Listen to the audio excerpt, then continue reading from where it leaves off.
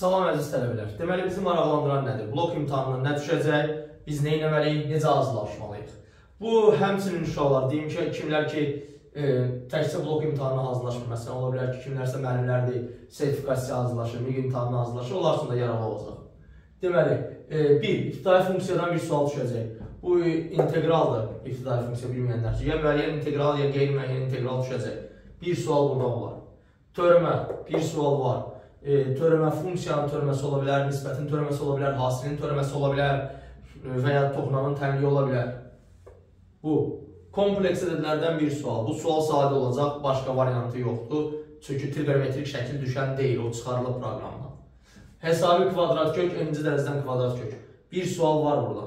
E, çətin düşünmürəm olsun. Limit, ya ardıcılığın limiti, ya funksiyanın limiti. Mütləq var, bir sual. Trigonometriyanın ümumi, cəmin hasilə çevirmə üsulları, toplama teoremi və s. və ilə axır. Bir sual var. Trigonometrik tənlik, bir sual düşəcək. Fırlanma cisimləri, konus, silindr, kürə, bir sual mütləqdir. Fəzada düzxətlər və müstəvilər, bir sual. Bu iki düzxəttin e, fəzada qarşılıqlı vəziyyətinə aid ola bilər, düzxəttin müstəvi üzərindəki proyeksiyasına aid ola bilər, ikiyüzlü bucağa aid ola bilər. Bir sual var. Hə, uşaqlar soruşacaqsınız ki, konkret konkretləşdirək. Çünki deyərsən, hardan bilirsən də bunlar belə düşəcək. Sual sayını araşdırmaq üçün əvvəlki illərə və abituriyent bir jurnalına baxmaq kifayətdir. Ki, hansı mövzulardan düşməlidir, oradan təyin eləmək olar. Yəni, ümumi biraz analiz etsəz aydındır. Hə, konkret suallar harada olacaq? Biz öz Telegram kanalımızda Riyazi Tərkəs üçün Telegram kanalına bir neçə ödənişsiz sınaq atacaq ki, konkret biləsən ki, suallar bu tərzdə düşəcək. Hə, e, qalan işlər artıq sizlikdir. E, sonra çox üzrlər bir sual var. Bu piramidadır. Bu e, kubdur, paralelpetdir. Prizmadır. Yəni buna aid bir sual var. Faizə aid bir sual var. Ədədi həndəsi silsilələr bir sual. Ya o düşəcək, ya digəri. Ya ədədi silsilə, ya həndəsi silsilə. Mütləq var. Bir sual. Həndəsən əsas anlayışlarından bir sual var. Sistem tənlikdən bir sual var. Məsələ deyil, adi sistem tənlik. Sonsuz sayda həllə aid ola bilər və s. ilə axır natural ədədlərdən bir sual var. Ola bilər əbivakib olsun, ola bilər natural bölənlərin sayı olsun və s. və ilə axır. Nə cür düşə bilər göstərəcəyik. Trapesiyaya aid bir sual var. İndi uşaqlar həmişə trapesiya deyəndə deyirlər məsələn figurların sahəsi düşəcəkmi? Uşaqlar mövzunun adı çəkilirsə, o trapesiyanın özünə aid nə ola bilərsə hər şey. Yəni sahəsi də ola bilər, perimetri də ola bilər, daxilinə, xaricə çevrə də çəkə bilər, çevrə də çevrə dairə dərsinə birləşdirə bilər. Mən burada suallar qoymuşam, izah edəcəm nə deməkdir. Yəni trapesiyaya aid bir sual paraleqrama aid bir sual. Uşaqlardan bəziləri zilmələm, paraleqram varsa, bəlkə romb düşdü. E, deyim ki, romb, düzbucaqlı, kvadrat, paralelogramın növüdür. Yəni, mən paraleqram deyəndə onlar da onun içində, sahəsi ilə birlikdə. Ehtimala aid bir sual, 100 faiz. Ya bu ola bilər ki, ikinci qruplarda situasiyanın içində olsun.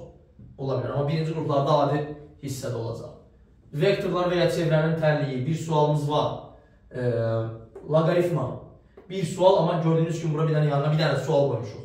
Ola bilər təmiz düşməsin, hansısa mövzu ilə qarşılıq olsun. Məsələn, hmm, ola bilər loqaritma ilə ədədi silsiləni ya həndəsi silsiləni qovuştursunlar. Hansı yana sual qoymuşamsa, bu ola bilər ki, təmiz həmin mövzudan düşməsin. Yəni, bu deməkdir ki, həmin mövzunu digər mövzuya inteqrasiya eləsinlər. Ola bilər belə bir şey. Üçbucaqdan bir sual olacaq, amma yenə də sual altında. Ki, konkret sırf üçbucaq mı olacaq? Yoxsa məsələn, Çevrə və dairə dərsindən birləşdirəcəklər. Çevrə dairədən də bir suallasıdır, buradan da bir suallasıdır. Ola bilər, bəli, bunları birləşdirsinlər. Funksiyadan iki sual bizi gözləyir.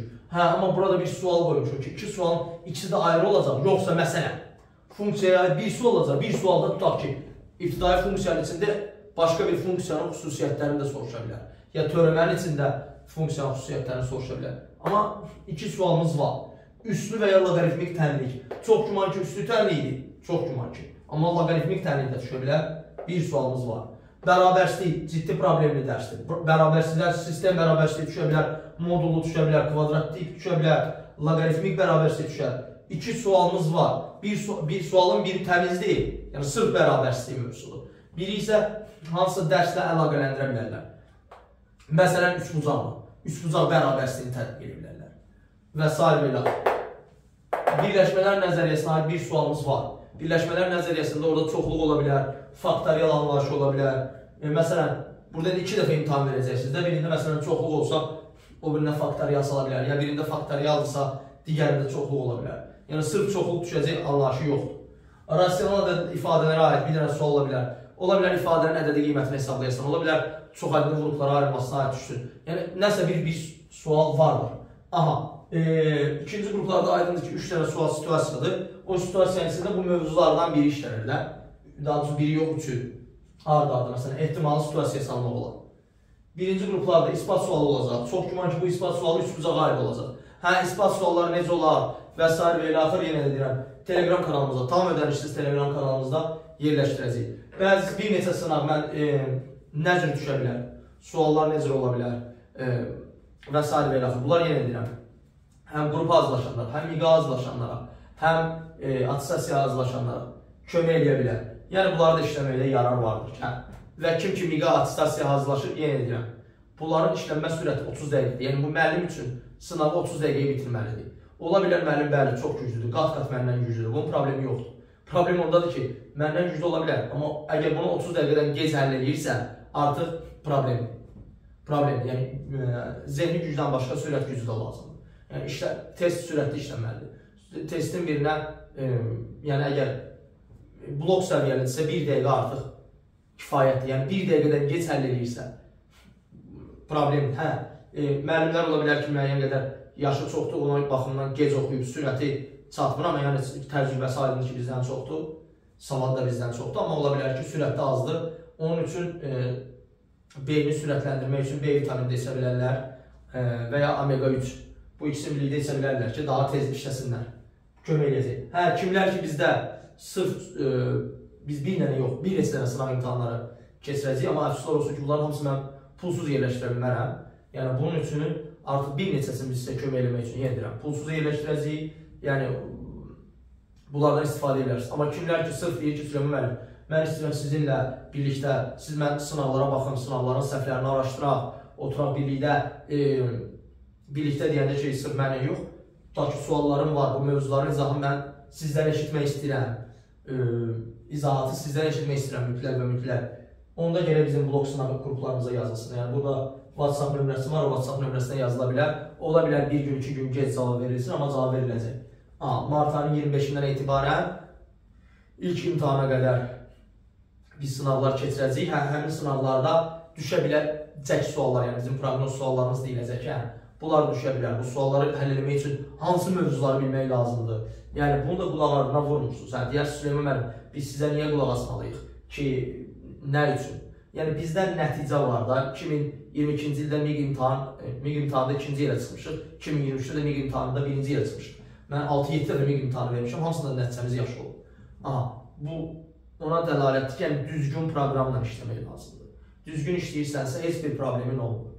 Ə, əgər düzgün işləmədiyində, yəni dağınıq işlədiyində, lazım olan istiqamətə vurmadığında problemlər yanaşır. Yəni çox riyaziyyat kifayət qədər böyük elmdir və kifayət qədər böyük vaxt tələb edə bilər sizə öyrənməyə, amma bizim vaxtımız o qədər deyil. Yəni imtahana qədər 2 ayımız var. 2 aya qədər bunlar öyrənilməlidir. E, nə suallar yaranır, nə problemlər var, yəni konkret hansı suallar düşəcək, inşallah mən savallları artıq bir sınaq paylaşacağam. Pulsuz, tam təmənnasız, riyaziyyat hər kəs üçün Telegram kanalımızda paylaşacağam. Ardınca onun izahını YouTube kanalımızda da yerləşdirəcəm ki, bax uşaqlar, suallar belə düşür. Bu səviyyədə hazırlaşmaq lazımdır. Bizim proqnozumuza görə e, yaxşı halda, yaxşı halda imtahan səhvə düşəcək. Bu yaxşı haldadır. Pis halda imtahan da sadə düşsə ballar ciddi qalxacaq. Bu pis haldır. Bizə lazımdır ki, imtahan çətin düşsün ki, e, neyniyək, e, ballar ciddi qalxmasın.